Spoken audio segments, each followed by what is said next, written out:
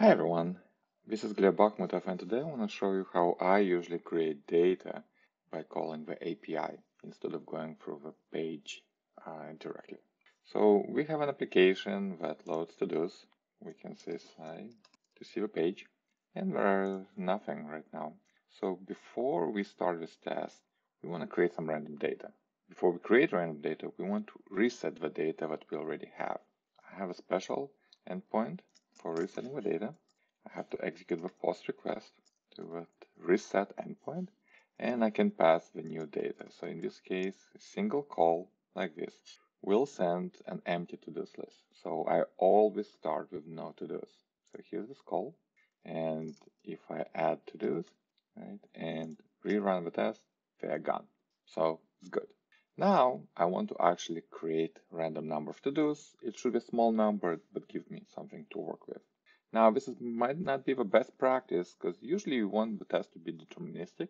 So you probably want to use a fixture. But in this case, I think it's okay for showing how to do this. So first I want to randomly get a number. And this is the way you can do it, right? You pick a number between 0 and 10 and you add 1. So you never create 0 to-dos. A tip I usually print the to-dos to the command log so I know how many items to expect. We can print and even use a little bit of markdown to make it bold. So for example, seven items. Now we can call cy.request seven times, or we can first create all to-dos, put them in an array, okay? And we can just use the suggestion. So this array from is a constructor that creates an array and we pass the length so it'll be, in this case, seven undefined items. Now the item is of no interest, but the index of an item is useful. So to create an item, we need to know what to expect there, right? This looks reasonable, right? So the only other thing that's missing is an ID. So let's say ID. So let's see how it goes. Now we don't know what it created. So a good rule that I use is to use console table to print a list of objects. Let's open the DevTools and run the test so it's printed. So two to-dos, zero, one indices, titles are just increments, both incomplete and the ID is what we set as ID. Great. Now let's actually create an item one by one.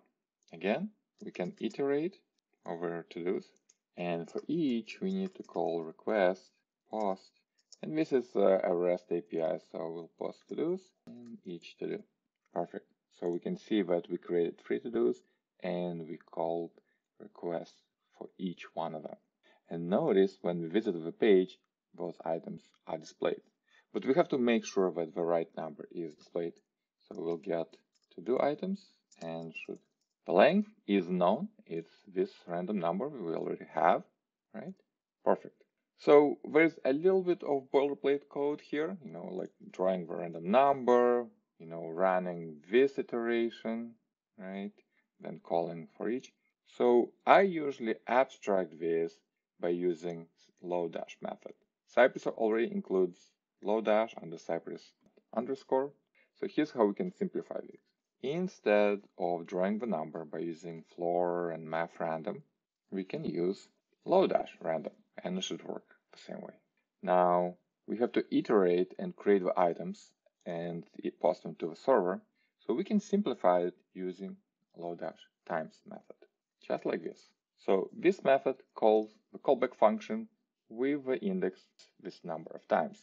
Now if we're using cy.request, it's so easy to actually take and form this item inline because the code is just so small. Okay, and we don't need any from here. Perfect. Works exactly the same way, and I think it's easier to read. And because we're repeating in the Cypress underscore everywhere, what I like to do is to say underscore equals Cypress to deconstruct it. And now I can remove perfect.